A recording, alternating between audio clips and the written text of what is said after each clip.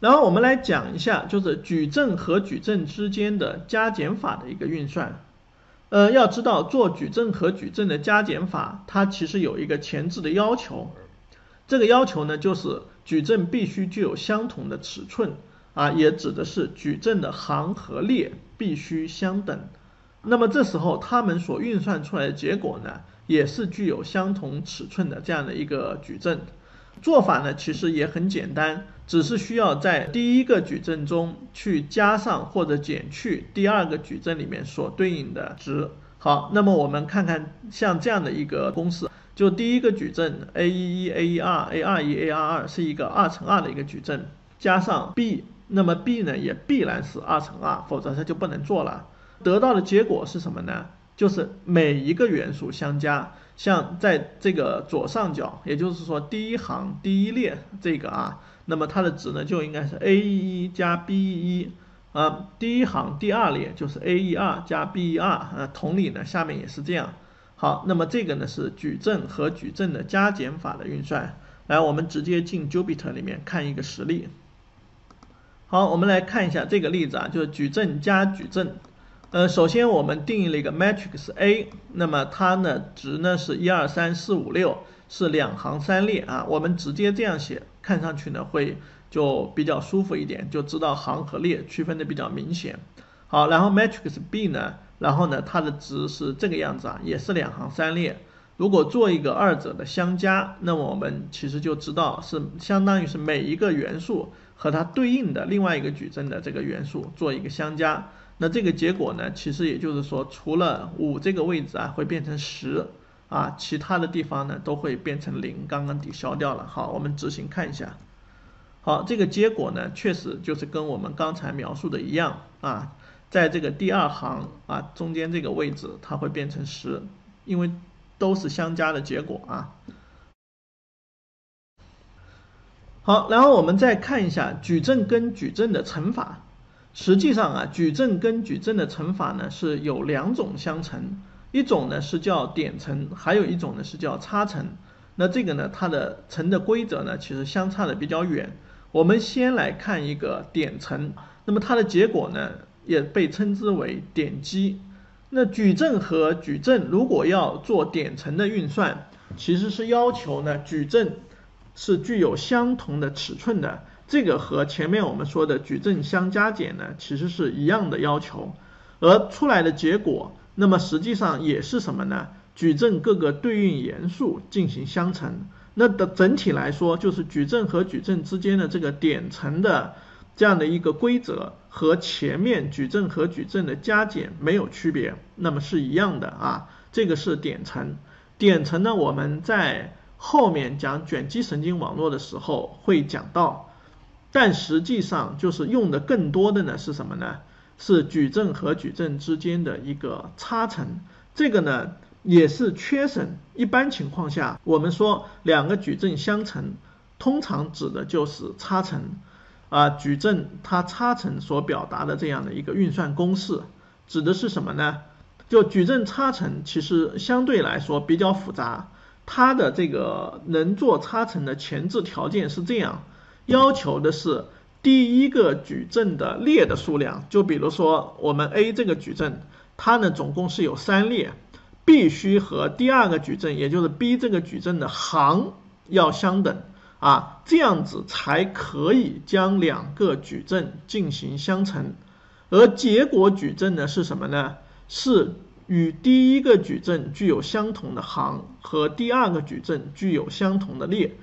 啊，读起来是不是很拗口？那么我们还是按公式来，以这样的一个例子，我们可以看到，就是矩阵 A 乘以矩阵 B，这个乘指的是差乘。那么它的前置要求就是 A 的列，那在我们这底下呢，继承了是 m 乘 n，也就是这个 n 一定是要等于 B 的行，也就是这个 n，这两者必须相等。然后出来的结果呢，这个矩阵 C，那么它的行和列呢，就是 A 矩阵的行乘上。B 矩阵的列，也就是 m 呢，去乘以 B 矩阵的这个列 k 啊，也就是说 A 是 m 乘 n 的这样的一个矩阵，它能和 b 呢是 n 乘以 k 的矩阵进行相乘，结果呢是 m 乘以 k 这样的一个矩阵，是不是很麻烦？呃，这个呢只是说了它相乘的前置条件和它的这个结果的形，它实际上呢处理起来运算量相对来说也比较大。它是怎么做的呢？它首先是这样做，就是我们要去计算结果 c 的第一行的第一个元素，用的是矩阵 A 第一行的第一个元素，先去乘以一个第二个矩阵的第一行的第一个元素，这是先做了一个，那么得到的呢是这个值，但是注意了还没有完，然后要做什么事情呢？然后要用到这个第一行的第二个元素去乘以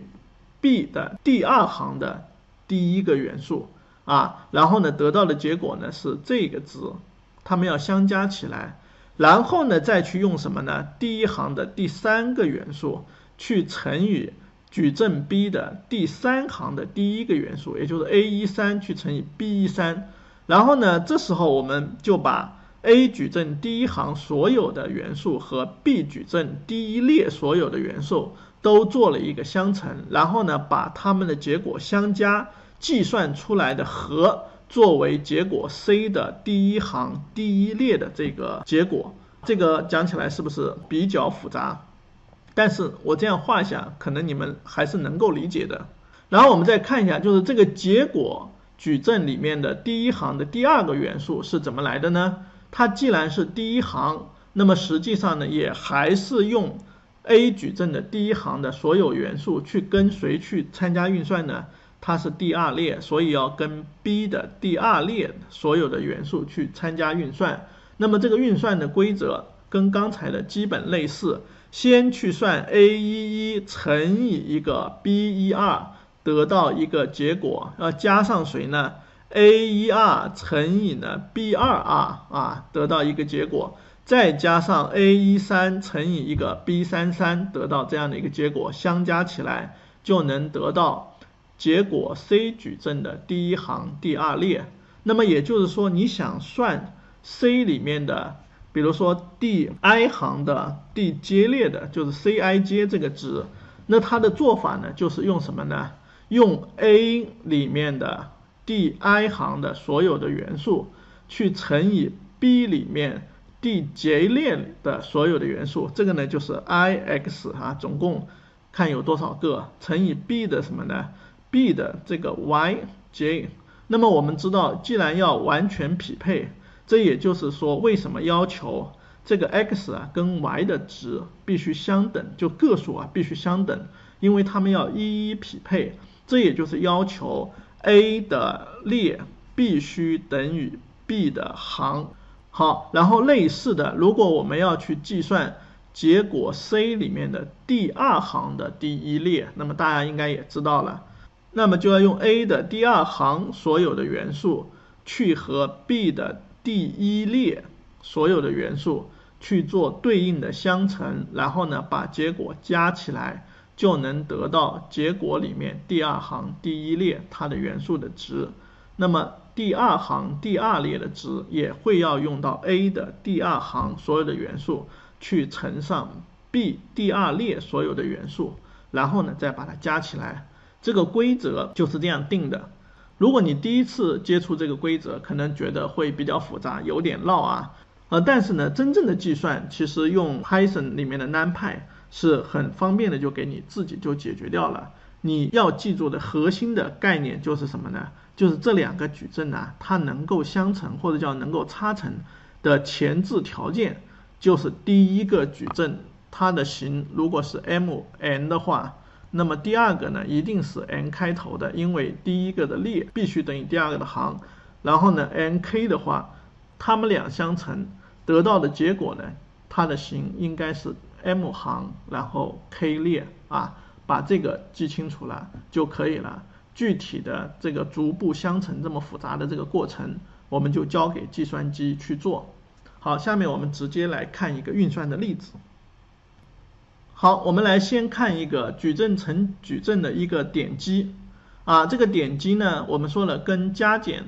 操作呢是一样的，指的是对应位置的数字相乘。那么自然它们的前提条件也一样，两个矩阵行列数必须相等，就它们的 shape 应该是一样。好，我们看这个案例，matrix A，那么定义的是一二三四五六，matrix B，那负一的啊，还是这个两个矩阵。然后做这两个相乘的话，我们执行一下结果。好，我们可以看到这个结果呢已经出来了。呃，为什么第一个呢是负一呢？因为是一乘以负一。第二个等于负四呢，是因为是二乘以负二，是对应位置的两个元素相乘。第三个呢是三乘以负九，三等于负九。那么第四个呢是四乘以负四，负十六啊，这个我就不说了。这个呢就是一个和加减类似的矩阵相乘，是点积或者我们称为点乘。好，然后呢在我们 Python 里面啊去做两个矩阵的点乘，注意啦，它的运算符就是乘法的符号。也就是说，我们在 Python 里面两个南派的数组，如果直接写上一个乘号，那么它指的呢就是点乘。然后这个点乘呢，除了直接用这个乘法运算符以外，然后呢还有一个方法，它也提供给你了，是什么呢？是叫 multiply 啊这个方法。那么如果我们用 multiply 去实现，那么两个参数分别是矩阵 A 和矩阵 B。那么我们执行一下，它得到的结果呢，和我们直接用乘法这样算出来的结果呢是一样的。也就是说，二者操作呢是等价的，都是属于点乘，结果呢都是点积。好，这里呢我们再强调一下啊，就是点积它是要求两个矩阵的形必须是相等的，如果是不相等是不能够做的啊，会出错的。那我们看一下这个例子，A 这个例子是三行三列，B 这个例子呢是三行两列。好，如果我们要去做一个点乘执行的话，它这个时候呢其实就报错了。他说这个操作啊不能够在一个三三和一个二三之间这两个矩阵之间啊做运算。好，那我们下面呢再看一下差乘啊，这个差乘呢导实际上我觉得是线性代数。呃，或者说是那个我们机器学习里面讲两个矩阵相乘啊，默认的这个乘法。好，那我们来看一下，呃，给的例子呢，第一个 matrix A 定义了是两行三列的这样的一个矩阵，matrix B 呢是一个什么呢？是一个三行四列的这样的一个矩阵。好，我们为什么这么定义呢？其实你可以看到啊，第一个矩阵的列是不是等于第二个矩阵的行？只有这样。他们才可以去做矩阵之间的这样的一个差乘，而根据我们前面讲的结果应该是什么呢？等于 A 矩阵的行和 B 矩阵的列应该就是两行四列的一个结果。那注意了，这时候如果要去做两个矩阵之间的差乘，我们所用的函数或者说我们所用的方法啊，是用南派里面的。Matmul 就是 matrix 啊啊 multiply 这个缩写啊这六个字母啊注意了是用它来做这个差乘的，那么带的两个参数呢就是要满足我们前面说的这个 a 的列是等于 b 的行这个前置要求。好，我们执行一下，看一下结果，结果确实是这个两行四列的。好，然后同学们呢有兴趣的话可以来计算一下。为什么第一个值是等于十四？那我这边呢，给大家来演示一下啊。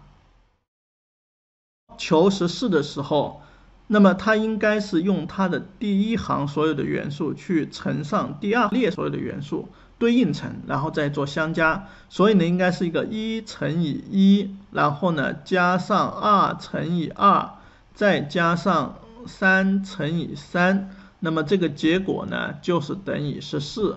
而第二个元素为什么等于十六呢？因为我们这个呢还是第一行第二列，所以呢也是用第一行所有的元素去乘以第二列所有的元素，然后做相加的和，所以呢这时候是一乘以二加上二乘以一，再加上三乘以一个四，然后呢这个结果应该就是等于一十六，好。然后我们再看第三个元素为什么是等于十呢？同样还是第一行啊，然后乘以呢第三列所有的，所以呢是一乘三加上二乘二加上三乘以一，那么这个结果呢，显然就是等于十的。那么类似的啊，然后第四个元素，第一行第四列的，也是用 a 的第一行去和 b 的第四列做一个相乘，那么就是一乘四加上二乘以零，再加上三乘以二，这个结果呢还是等于十。好了，那么这个呢，大家应该就呃明白了啊，这是我们求出来这个结果的为什么第一行是等于这个值，那么第二行的这个值，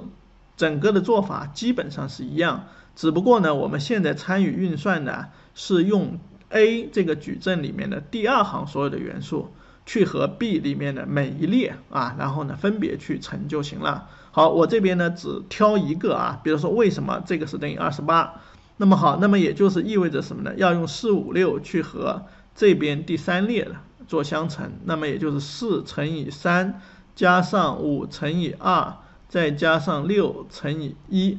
那么这个等于是十二，这个是十，这是六，那么加起来呢就等于二十八。好，我相信呢大家有小学毕业的数学基础，这个应该就会算了啊。好，事实上其实我们也不用自己算。我们直接调用 NumPy 的这样的一个方法，然后就可以搞定这个事情。好，我们再来看一下，就是说如果矩阵和矩阵做差乘，呃，如果它不符合前置要求，也就是说 A 矩阵的列要等于 B 矩阵的行，像这个例子就是 A 是两行三列，而 B 呢是两行四列，这个三列不等于它的两行，那么这时候如果我们再执行一下啊，那就会报错啊，它会显示啊。这个呢，它们两个呢形状是不能够对齐的，也就是不能做相关的这个操作的。